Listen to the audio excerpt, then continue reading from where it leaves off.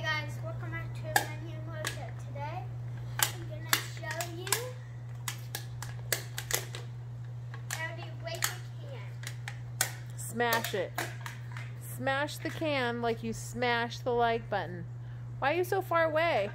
Oh, fine. Perfect spot. First, you get all your energy. Go like this. Put your hood on so no one can see you. All right. how you get all your energy. Oh yeah, do a quick, do some mountain climbers, get warmed up, do a push up or two. Push up. Oh, maybe downward dog. Put your booty in the air. All right, he's all warmed up. So no one will get hurt except for the can. Oh, nice little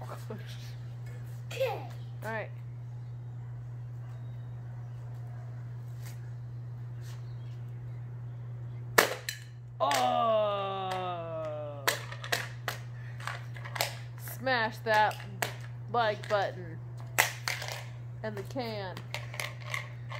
That's good. Show us the can.